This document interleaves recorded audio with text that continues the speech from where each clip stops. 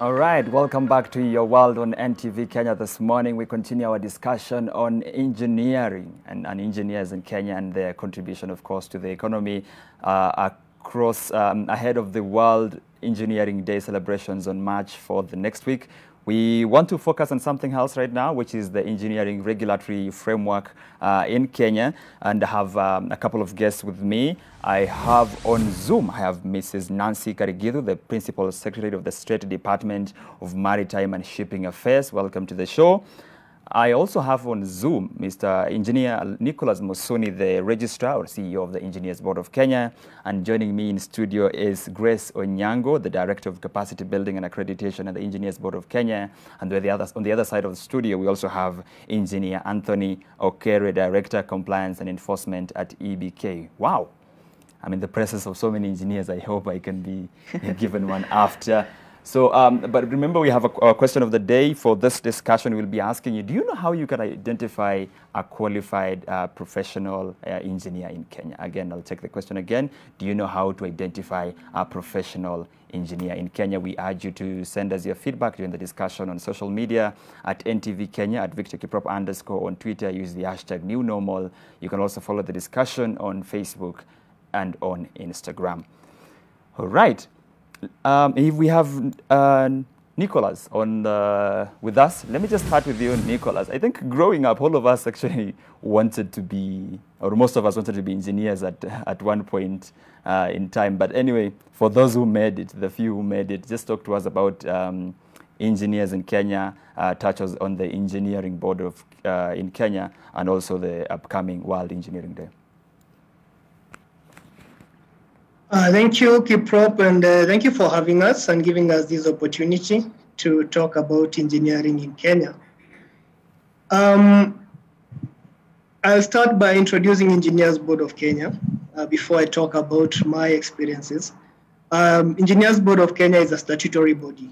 It's uh, created by the Engineers Act of 2011, uh, primarily to regulate the engineering profession to oversee its development, to set standards of uh, engineering practice, and uh, to oversee capacity building in the engineering practice. Um, the act came in 2011, but uh, we have had regulation of the practice since 1969.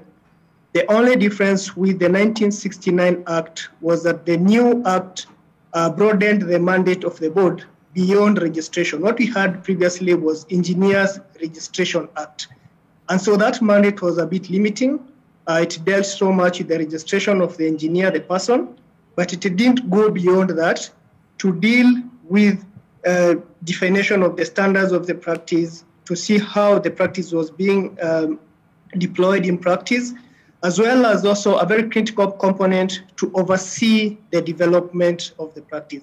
And so, with the new mandate, then uh, the board has the capacity and has the framework within which it can uh, put in place programs, initiatives that also, beyond regulating the practice, also try to develop it and uh, ensure that uh, those who wish to be engineers and those who are also engineers uh, carry on um, uh, practicing properly, as well as also um, uh, uplifting the standards of the practice in Kenya. engineering is all over the place. I mean, whenever you wake up, the first thing that you do, you turn off your lights. Probably you go to the shower, um, use engineering systems to have the water pour on you, so to speak. And so everyone uh, interacts with engineering directly or indirectly. In all what you do, you'll find that we um, utilize uh, engineering products or engineering services. And so the reason why engineering is regulated is that recognition of its impact uh, to the people's safety, to your health, and to ensure that uh, whatever we do, we do within uh, best practices, we do within uh, systems that can withstand uh, various dynamics and that can also be properly um, uh, um, determined before uh, disaster strikes, for instance. Um, generally, a quick definition of engineering normally is um, the utilization of scientific principles to uh, leverage on the resources of nature in the most economical, uh, technically feasible, and sustainable manner. Uh, so that whatever we do, we must uh, ensure that it can stand uh, future challenges. All right. Um, so, by way of introduction, this is who we are a state regulator, right. as well also as an entity that is supposed to oversee or promote the practice of engineering for the good of the public. Thank you. I asked you about the World Engineer, Engineers Day coming up next week. What does this mean for engineers in Kenya? Oh, thank you uh, for that. I, I, I missed uh, that part. But um, World Engineering Day is a day that was set aside by UNESCO, uh, the United Nations Education, Scientific, and Cultural Organization, um, in collaboration with the World Federation of Engineering uh, Organization, WFEO, to promote the practice of engineering and also to demonstrate uh, to the public, the users of professional engineering services, uh, to demonstrate to them what engineering is all about, what benefits engineering bring to, uh, brings to the nations, and what uh, we can do together um, uh, as a society to appreciate and promote uh, the practice of engineering. so this will be celebrated on 4th March 2021. A number of activities have been lined up, culminating in a congregation at the University of Nairobi, uh, where we will be um, having engagements uh, towards that objective.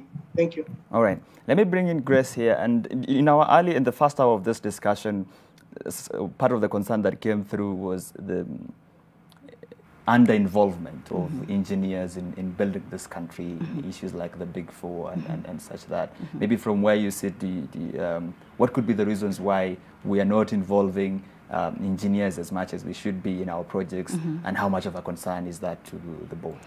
Okay, uh, thank you very much, Victor, for that question. Um, I, I, don't think it's much of not the not involving engineers, but the involvement of professional engineers as such. So there's a, there's a bit of a difference between um, somebody who is a professional engineer and somebody else because mm. there's certain qualifications that a professional engineer should have, and perhaps we'll get into that. Uh, I do know that, uh, um, like for instance, this expressway, there are engineers involved, and it's one of uh, uh, the greatest projects under the Big Four agenda. Um, the whole idea about the World Engineering Day, as you say, is to bring visibility to the engineer. And I think that is what engineers have lacked for a very long time. There are wonderful projects we are in charge of in this country. Um, if you go to the building sector, the infrastructure sector, the manufacturing sector, the hospitality sector, the health sector, all these sectors, there are engineers involved and they are professional engineers. However, it's the visibility that we have lacked. And we are thankful for this uh, World Engineering Day because it, it gives a spotlight to engineers and the capabilities of engineers and what engineers can do.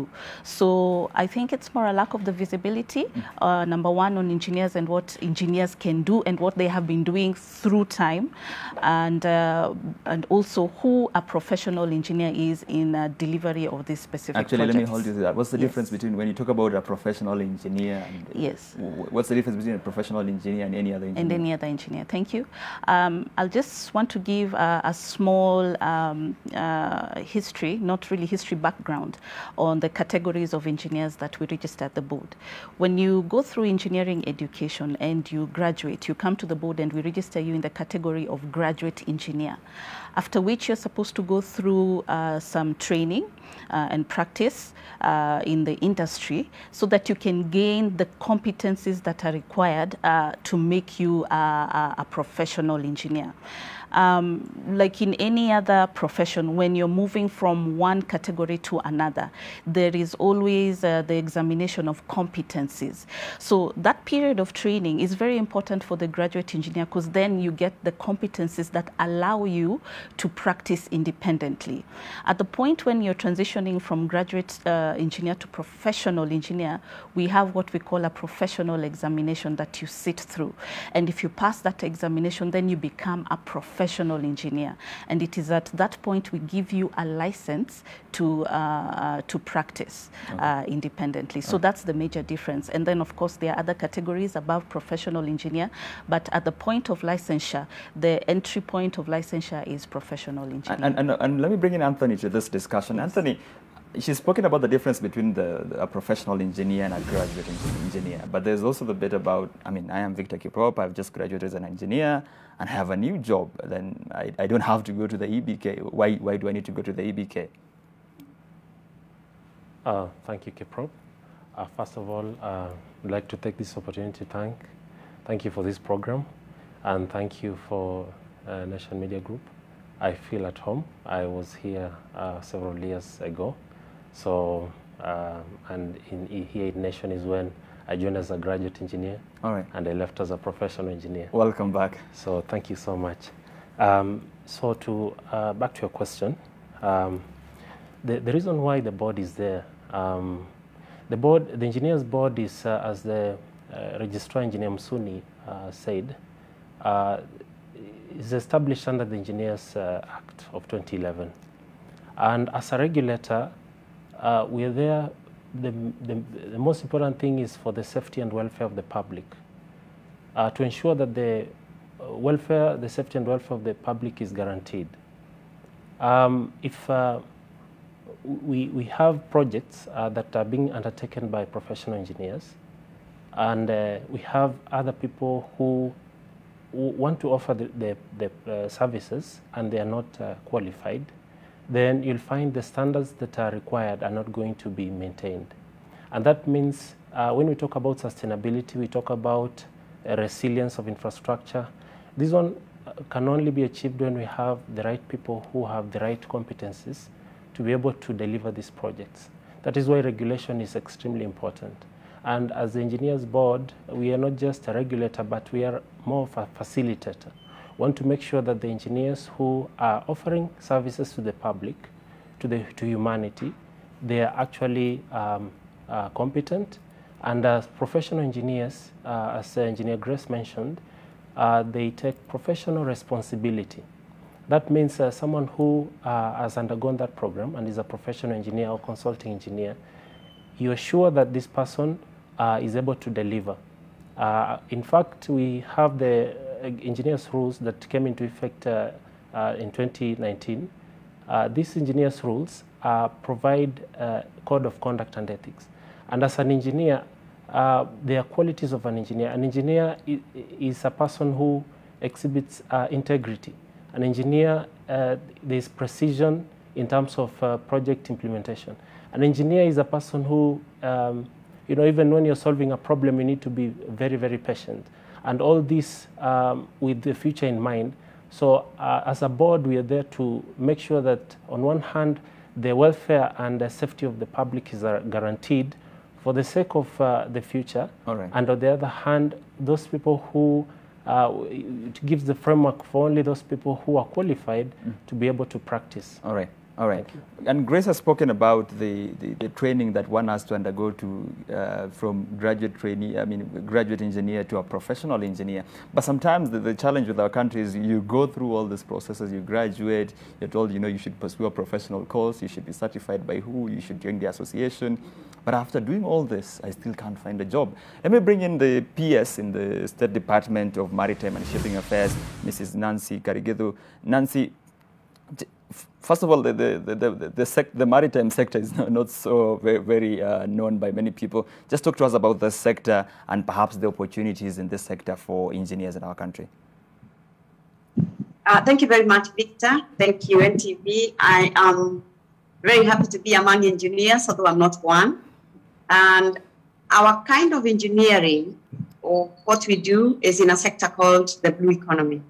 The blue economy basically just means uh, making sustainable use in terms of opportunities, in terms of jobs, in terms of national development, uh, economics uh, from the water bodies that we are blessed with. We're talking the ocean, we're talking of the lakes, the rivers, wetlands. There's a lot of resources.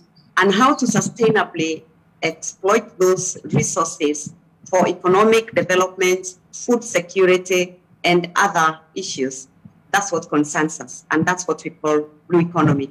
And as you've rightly uh, observed, uh, or one of the speakers has said, engineering is part of our everyday life, not just on land, but also in the water space.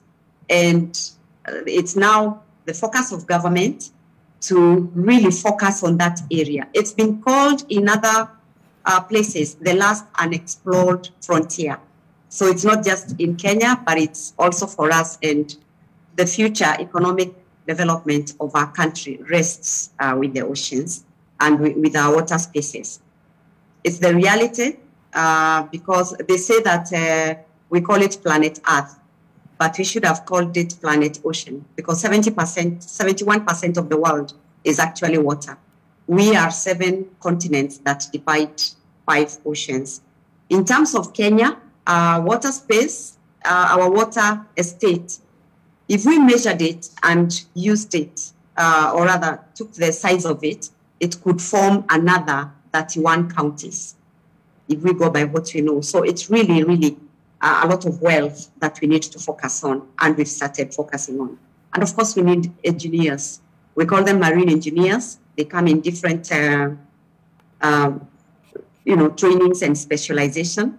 The difference here, uh, engineering on in the in the blue economy, one engineer does many things. On land, we are used to uh, mechanical engineers. We are used to electrical engineers, electronic, mechatronics, but in, in the in the blue economy, or when we talk of marine engineers, we're talking of someone who is able to do all those in one. Because as you realize, uh, the main training ground or the main focus of the area of employment, you cannot afford to have one engineer for every component. Uh, if we take, for example, the ship, you're talking of one person being able to do, you know, the equipment, to do the I mean, the machinery on board the ship. We're talking of the same person being able to do the air conditioning, uh, the refrigeration, the electricals, the electronics, the ship building and repair, all of that in one person. So they are very highly trained, very highly, highly skilled. And when they are finally released back to land, we're talking of the people then who can drive an industrial revolution like we have seen happen in South Korea their retired seafarers then drove the country into uh, the industrial revolution we talk about. I hope I've explained that. All right. Uh, let me bring back uh, Nicholas. Uh, I mean, Grace has spoken about the need to, to, to, transition from being an engineer, a graduate engineer, to a professional engineer. But sometimes you go um, in the streets and you find employers who actually don't bother to check if I am a professional engineer, if I am certified by the board. What risks do we run? How much of a challenge is this when we have people who perhaps have not met the, the, the, the criteria being allowed to, to work so um, freely and undertake uh, key uh, projects? Uh, thank you once again. Um, it is a huge concern and it is a huge risk when one opts to use uncertified professionals, either knowingly or unknowingly. Um, the problem is that, uh, unlike other things, engineering really speaks for itself. And uh, ultimately, we find, um, sadly so, um, the results of utilizing uncertified professionals are disastrous. Um, when you talk about uh, collapsed buildings, that is the most uh, uh, visible um, manifestation of uh, this malpractice. Um, there are many other uh, areas where we have challenges uh, um, when we have standards of products that don't meet the thresholds. And quite often, you'll find that the genesis of this is when um, developers, investors, cut shortcuts, don't want to utilize the right professionals and end up um, uh, in, a, in, a, much bigger problem. Right. So for the board, uh, this has been a problem, uh, but uh, uh, within the current regulatory framework, uh, we are able now to inspect works, visit sites where engineering professional services are, are being offered, and we have now developed a compliance and enforcement directorate headed, headed by my colleague, engineer Anthony Okere.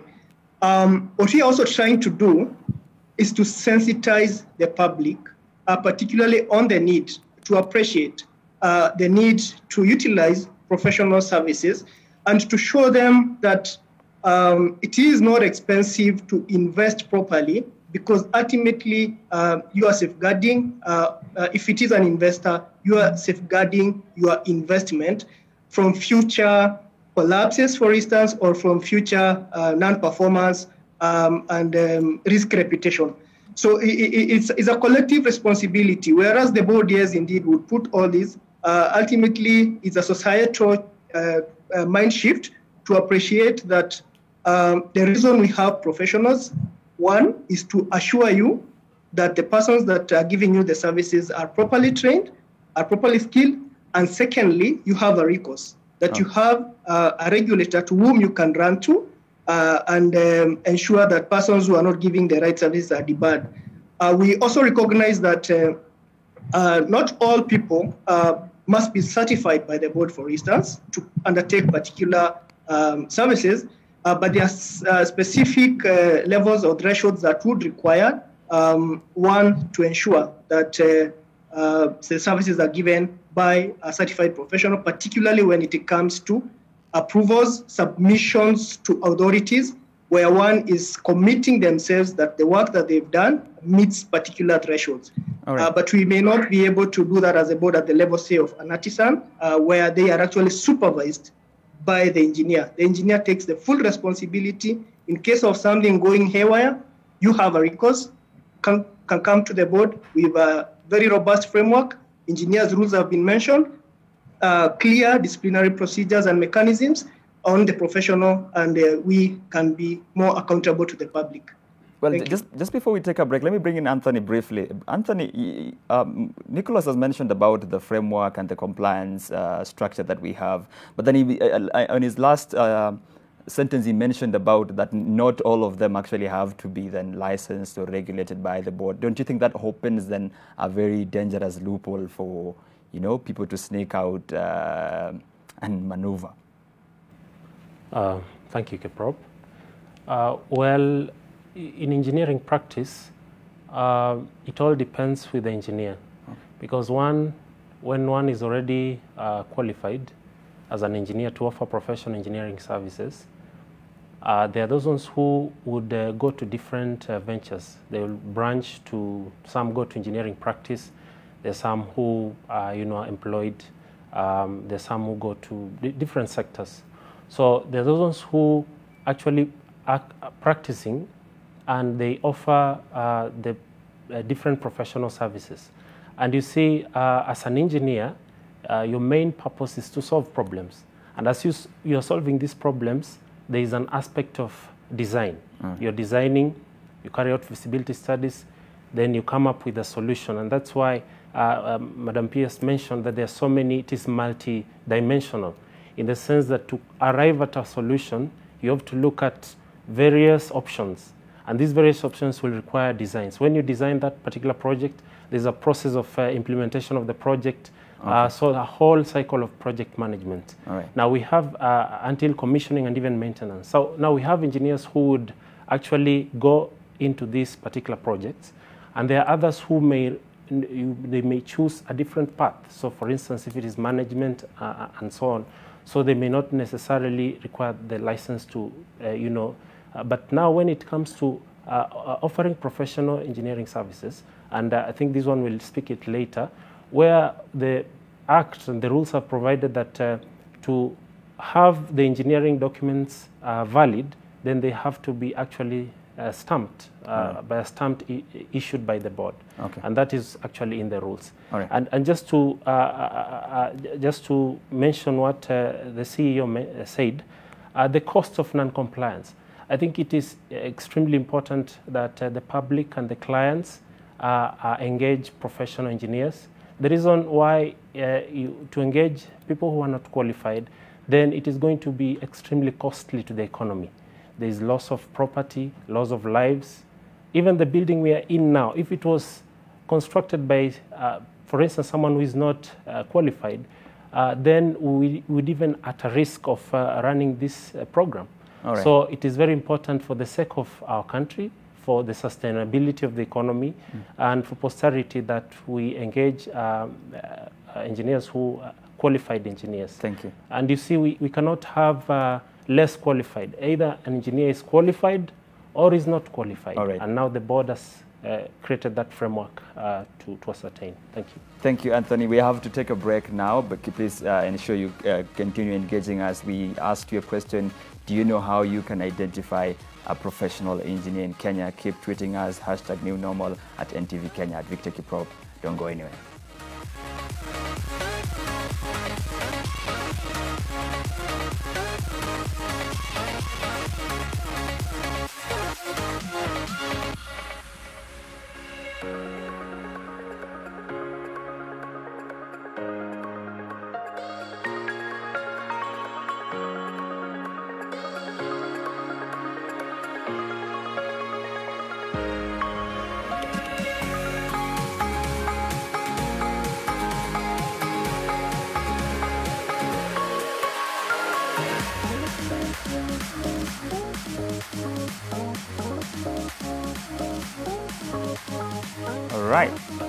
Back to your world on NTV Kenya. We continue our discussion on the regulatory, uh, the engineering regulatory framework in Kenya, engineers in general and their contribution in the economy. Remember, we have with us Mrs. Nancy Karigithu, the PS uh, in the State Department of Maritime and Shipping. We have Nicholas Musuni, the CEO of the Engineers Board of Kenya. We have Grace Onyango with me here, Director Capacity Building and Accreditation, and also Anthony Okere, Director of Compliance and Enforcement. And just before the break, we asked you to keep sending us your feedback. We had asked you, uh, do you know how to identify a professional engineer in Kenya? Let's see if we have some feedback.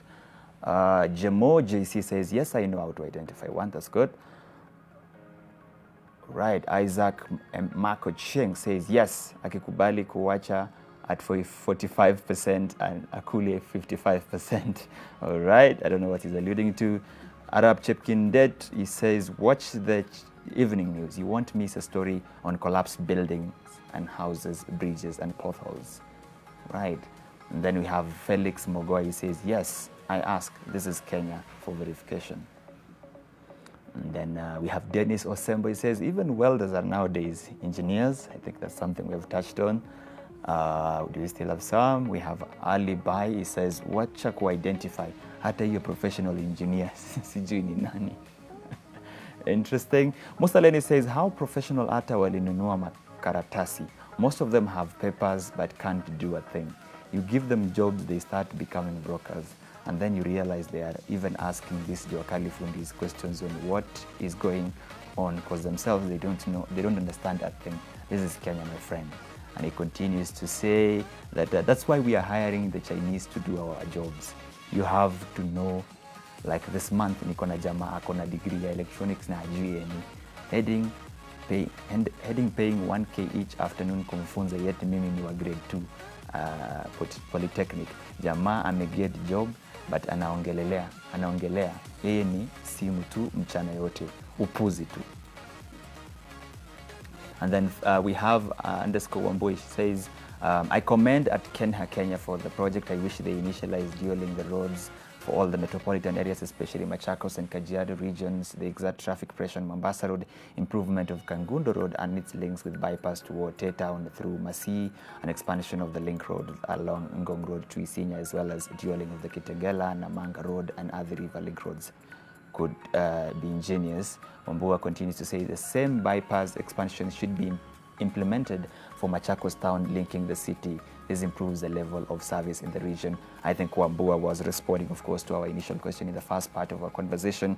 We'd like to continue. Uh, Grace, you've had some of the concerns raised there. And um, I think the challenge we have does not even come even after, just after graduation. It also comes even in school. And the other day we had um, these worrying statistics where I think 12 universities in Kenya offer engineering courses. And as at then, only six of them were actually accredited by the, by the board. Okay. How much of a concern? Um, uh, I- think, I don't know where the statistics, statistics are from. We have, I think, more than 11 universities who are running accredited engineering programs in, Yeah. uh, in Kenya. Yeah. Uh, but maybe I can just talk about the whole reason why accreditation is important. Yeah. Accreditation is a quality control mechanism to ensure that the learning outcomes, when you enter an engineering program, you must get the attributes that are required uh, by the time you are graduating, uh, so that you, uh, like the, the comment uh, that uh, gentleman has said, uh, makaratasi tu, he doesn't know anything, anamfunza etc.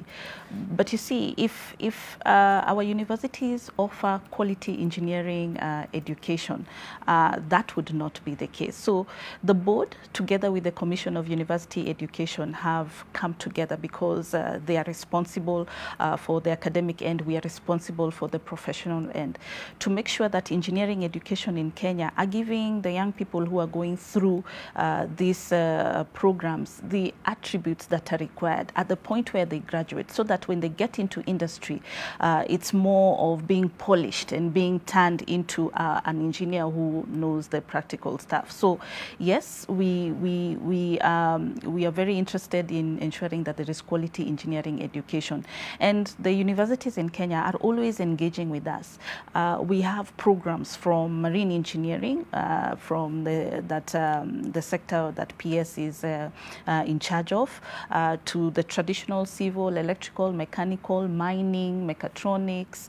Uh, there are new frontiers. We are working on biomedical. We are working on uh, mining and mineral, metallurgical. So uh, the board um, is, is, is working hard to ensure that, number one, you get the quality foundation in terms of the engineering education that you get, and then you get the training that you need that will actually turn you into that uh, professional engineer so that you're able to address issues uh, uh, when you go to a site, wherever, whatever forum you are in, you're able to address those specific issues. And I think most of the comments have uh, were at the bearing of Yes. skills gap. Let me bring in the PS if, you, if, yeah, if she- she's still with us. PS, you heard about the, the, the viewer who spoke about people who have papers but they can't deliver anything. Uh, it kind of brings the, the, the, the, the issue of skills gap.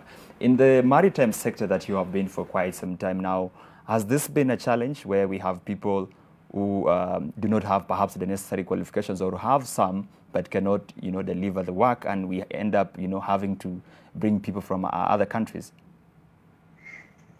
Now, uh, thank you for the question. Let me start by saying that uh, in the maritime sector, uh, because safety permeates every aspect of the operations that happen there, the, and, and also the fact that uh, the, the industry is international, there are no borders, or rather defined borders. We cannot afford, therefore, to have sector or silo mentality in terms of quality control, in terms of uh, qualifications, and therefore the area is regulated from the international forum. The International Maritime Organization, uh, which is the specialized agency of the United Nations, are responsible for the safety of shipping, uh, sec- maritime security, and the preservation of the marine environment, has got very stringent conditions to ensure that the professionals are very well qualified and nobody slips through the cracks, as it were. So, highly unlikely that you'll find a quack in this area. How does it work? We are regulated, or the area is regulated in terms of uh, uh, maritime education and training uh, through convention. We have conventions emanating from IMO and a sister organization known as uh, the, I mean, the ILO, you know, the International Labor Organization, which also has a very, very big role to play in terms of maritime labor.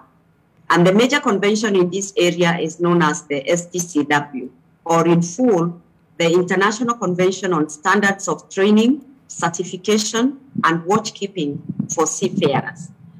Competency is a very big word or a very big component of maritime training and education.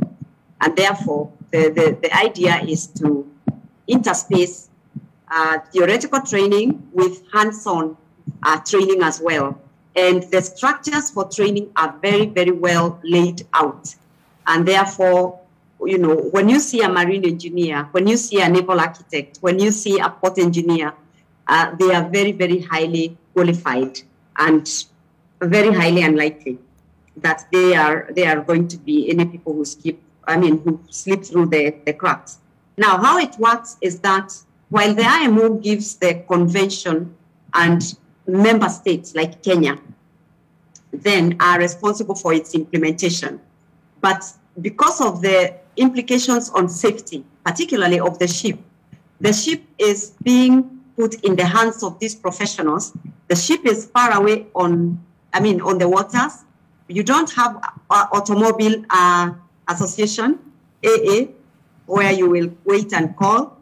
Therefore, the rules have developed in such a way that if at sea you have a problem as a, a master of a vessel, and then you call for help from somebody because you know your ship is in trouble, then something called salvage kicks in. And salvage means that another ship has come and helped you to a safe harbor or you know rescued that ship, uh, your ship from from danger of sinking and to enable or to make sure to encourage other people to invest in salvage, the maritime, the International Maritime Organization came up with principles that have ensured that there are people at sea or other people who have invested in saving other vessels. Now, you don't want, or rather, a ship owner will never want his ship to be salvaged. Right. So he will make sure that he has the best qualified and competent uh, personnel on board. Because if I save your ship as a salvor and bring it safely to shore, then I become automatically entitled to half the value of the vessel and to half the cargo, the value of the cargo on board. Nobody wants that. Right. So as you can see, we have no room at all for quacks in, in, in this profession. Thank you, PS. And maybe to bring back Nicholas, at one point in this country, we actually had, a, I think, a shortage of engineers, if I'm not wrong.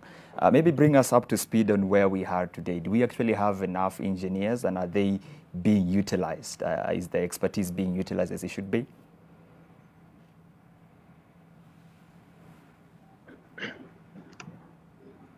Um, to answer that question, uh, uh, Mr. Kiprop, I would want to point out that uh, in terms of engineering education, we are doing quite well, I would say. Um, a few years back, we probably had um, uh, two universities. Uh, initially, we had the University of uh, Nairobi, and we had uh, Moi University. Uh, later on, we had uh, Jomo Kenyatta University. But now uh, we have uh, 12 universities uh, that we have worked together uh, to uh, streamline their programs to ensure that the quality that the industry requires is ingrained in the program itself.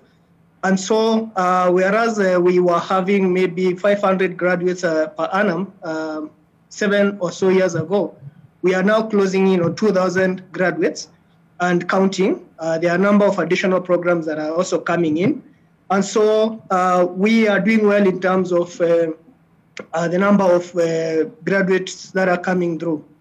What we are now faced with is a scenario where we have quite a number of uh, good graduate engineers coming into the industry, but now transitioning them into into professional engineers, and that is where we have a challenge with the professional engineers because there is a process towards that uh, in terms of giving them the necessary um, uh, exposures, giving them the necessary opportunities and mentorship to ensure that they grow within their careers. Uh, this is the now the issue we are addressing at the board uh, through uh, various interventions. One of them we have uh, engaged government to establish a graduate engineers internship program, so that a graduate uh, of uh, an engineering program, having been invested on so much in terms of their engineering education, is granted an opportunity to work in these projects in the industry, uh, both private and uh, public sectors, and uh, under the mentorship of professional engineers Right. uh, to have the sufficient skills. So we are looking at a situation whereby um, the country uh, at the moment, if you look at uh, a per capita ratio of uh, one engineer to 5,000 uh, people, we would be talking about pro- probably approximately 9,000 to 10,000 professional engineers. We have over 17,000 graduate engineers, and therefore the task ahead of us is converting those graduate engineers um, to reach uh, that required ratio. Okay. Uh, at the moment, we are closing in on 3,000 professional engineers, and um, um, compared to 1,300 that we had uh, seven years ago. Uh, okay. so we have doubled the number of uh, professional engineers over the last seven years under the new framework. And we are looking now through the graduate engineers internship program, provide opportunities for all graduate uh, or, or engineers um, into the practice under proper mentorship, under proper guidance for them to get all the necessary skills, and then we can deal with uh, their deficiencies. All right. And maybe to grace on that point about the training um, and the guidance that engineers need to be able to transition to become professionals, then for any graduate engineer watching today, what is the importance of going through this phase in terms of improving your chances, of course, of landing a, a, um, a job or, or, or, any absorption? Um, it is that program, uh, what we have built into that program is training uh, that is geared towards making you a professional engineer and not just for the Kenyan market, but for the international market because it's uh, benchmarked with the standards from the, uh, again, one of the global bodies that we want to accede to the International Engineering Alliance.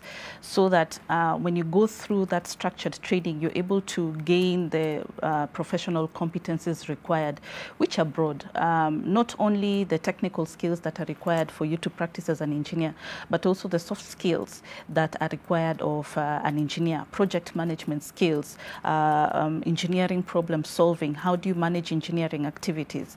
So uh, our aim um, is that the process and the, the reason why we have such huge numbers, the framework that we have now has shortened that transition period from uh, um, uh, for transiting from a graduate engineer to a professional engineer. Okay. Before that, it would take something like 10 years. But if you go through uh, any model that we run under the graduate engineers internship program, we're trying to shorten that to about three to four years so that we are able to churn out and get uh, competent professional engineers from the graduate engineers that we have. What does this mean for this country? It means that uh, we'll be able to realize our development agendas much faster. It means uh, that uh, perhaps we can give local engineers the opportunity uh, to be able to run uh, these international projects that, uh, that we're seeing being run by um, um, people from different countries. It means that, uh, and especially for women engineers, I'm a, I'm, a, I'm a woman engineer, I'm sorry for sneaking that yeah. in, but it, it means we, we have, and especially from the woman engineer front, we have more role models for the young ladies who want to be women engineers but are so intimidated because it's a male-dominated uh, sector. Uh, it means that uh, Kenya will be able to compete, you know, on the global arena uh, in every single area of uh, engineering. And it's not the traditional engineering. There are new frontiers in engineering. Okay. You've had PS talking about marine engineering and the blue economy. Uh, so uh, it means that Kenya will be uh, a force to reckon with when it comes to matters engineering and offering professional engineering services, okay. regardless of whichever discipline. Yes. Thank you. I actually like the point about women engineers and, yes. and the fact that it's dominated by by, by, by, the, by the male gender. Yes. Because um, if the PS is still with us, she, she'll tell you that even the, the maritime sector yes. has suffers from the same. Yes. PS, in your closing remarks then, uh, with regards to what Grace has mentioned, how do we actually get more, more female engineers, and not just more female engineers, but also more female engineers in the maritime sector? And how much of importance does this mean to um, us as a country? Oh, thank you for the question. Uh, you will realize that globally, uh, women in the maritime sector are few and far between, uh, particularly at management uh, position in the technical areas. If you go to shipping, for example, uh, only 2% of the one, approximately 1.2% of seafarers are female. And even those 2% work in the, a majority of them work in the hospitality industry. You're talking of cruise shipping. Therefore, there has been a deliberate move uh, by the United Nations, uh, particularly working through the International Maritime Organization, to attract more females in the in the maritime sector in these areas. A very deliberate uh, move, and one of the targets or, or one of the um, the ways that it has been done or it's being done is to provide role models particularly to the young girls, so that they see the industry as a job, uh, you know, for job availability. Also, uh, bringing women together so that they can be mentors. Uh, the, the women, like uh, in my position, to mentor the young girls uh, to see this as, a, as an area where they, they, they can get jobs, availing um, opportunities for training, being deliberate uh, about that. All right. And we are trying very hard. We've got we've brought women together, uh, particularly in Africa, into women's associations, so that we can then bring and hold activities that particularly target and you know make women visible All right. uh, to students Thank you. uh, to Thank be able to see the alternatives. Thank you, Honorable PS. And and to Anthony, in your closing remarks, in just 30 seconds, I am I have a project, any any type of project that needs an engineer, and I need to get one. How do I know that they are a professional engineer? Do I have do I ask them to show me their certificates? What do I do? Uh, uh, thank you, Kiprop. So, um, no, you don't necessarily, of course, you can confirm the certificates and uh, the, the license because it's very, very important. Uh, but the board has given a framework uh, which is through the engineer's rules. And the way, one, these are the four ways you'll identify an engineer.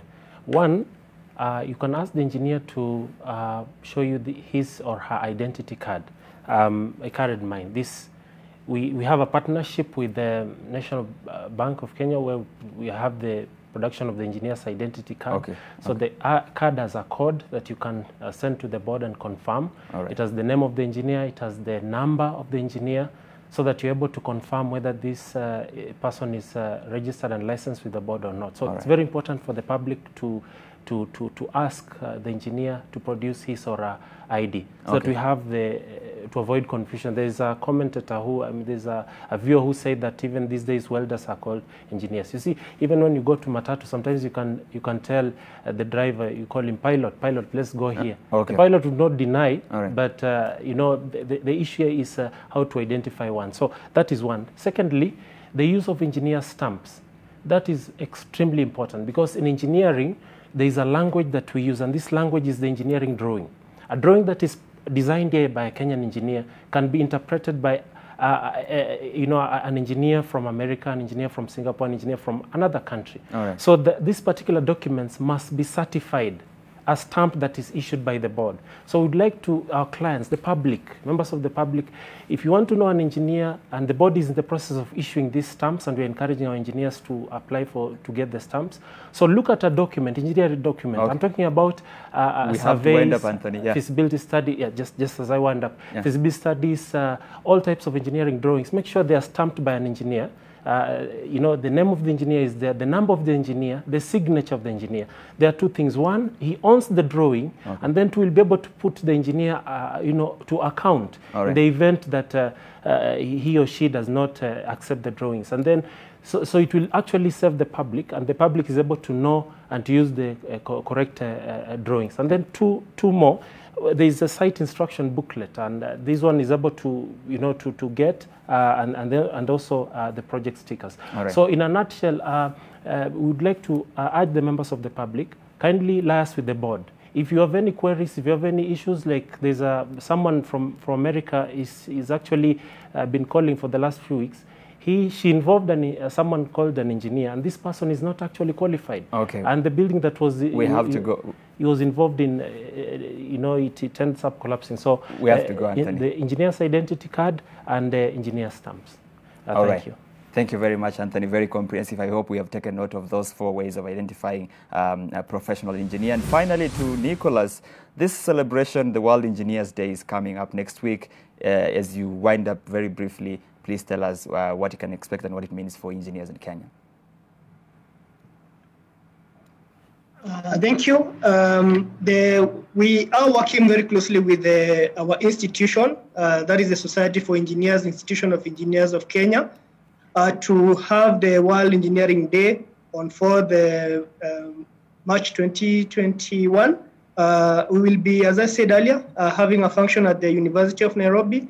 Uh, we will be uh, giving further details. I think some of the programs we are looking at, for instance, we are going to also be launching our, uh, unveiling our new uh, interactive website, and very many other exciting things that we will also be sharing with the public. And uh, as I conclude, I would want to point out that uh, engineering as a profession, and indeed any other profession, our essence is in the Constitution. If you look at your Constitution, Article 46.1c, it guarantees members of the public that they should have mechanisms to have products, services that are safe, that are healthy, and that uh, fit their economic interest. If you look at that concept, then uh, we are there to safeguard the public, to promote public health, and also for those who are investing to ensure that your economic interests are taken care of. All Thank you very much. All right, Grace, in your closing remarks in just 20 seconds, I'm a university student. I'm starting to worry if this is the right choice. Should I drop out and pursue something else? Should I? No, you shouldn't, because uh, the, the board has got a very strong mentorship framework uh, together with the society, and we, uh, we, uh, we have, through this, uh, the institution, a student uh, chapter. So you shouldn't drop out. The future is bright. There are opportunities for young engineers, and they, we will work with them and make sure that they become professional engineers and realize their dreams. All right. Yes. Thank you very much, Chris. I think it's been, been a very, very, very uh, insightful discussion. and a lot of thanks to my panelists, uh, Mrs. Nancy Karigithu, the Principal Secretary of the State Department of Maritime and Shipping Affairs, Nicholas Musuni, the CEO of the Engineers Board of Kenya, Anthony Okere, the Director of Compliance and Enforcement at EBK, and finally Grace Onyango, the Director of Capacity Building and Accreditation at EBK. Just before we go, we promise that we'll sample the last uh, feedback from uh, our viewers. Remember, we had asked you if you know how to identify a professional engineer in Kenya. And Boaz Amukoye says, I think the comments of the gentleman who tweeted about an engineer repairing electronics are misplaced. Engineering is more about design, not a matter of tunafanyanga hivi. I think most of the panelists would agree. Junior Mans says, are you trying to say that those rich people who will afford it are the ones who drive the economy? Thinking face and amused face it's it doesn't make sense since uh, very few people can afford to use uh, com- commercial users uh, in brackets matatu cabs and truckers just a few. I think he was referring to the expressway. And then we have kimani karaoke says no. Also anyone who thinks the expressway will solve traffic is either a beneficiary of chronism or doesn't understand the modern uh, traffic urban traffic management. The expressway is way uh, is a cash cow for few cabals and shall be regretted by kenyans years to come and then we have uh, at, at Am Jose, he says, I, I am never ready to pay my rent. What about an expressway? Jacob Brewer says, Yes, I am. It's a game changer. Time saved in travel is worth the charge. I think uh, the last three comments were also in reference to the expressway. And then uh, Goodman Erickson says, Using our taxes to build it, then taxing us to use it. How? Very critical question, I should say. And then at Huyu, he says, why should we pay and it's a loan we are paying uh, back as taxpayers? I'm not sure that will work. Do we still have some more? Yes, a Congo or Congo. Those that determines the standards, do they know everything? I think this is in reference to how you can identify engineers in Kenya, uh, professional engineers. And the last one, Rwanda Magere, he says this is a permanent solution if you count money and time lost for those years is even more. Furthermore, it's upgrading and rating up, uh, rating our city up. And I think that last comment was in reference to the Nairobi Expressway. Ladies and gentlemen, I have really enjoyed this discussion and uh, very much thanks to both of you. I think I've already recognized you. And we have come to the end of show, the, the show. Thank you for keeping us company through the two and uh, two hours now. And uh, of course, we'll see you next Monday. Been your host, Victor Kiprop. Keep watching.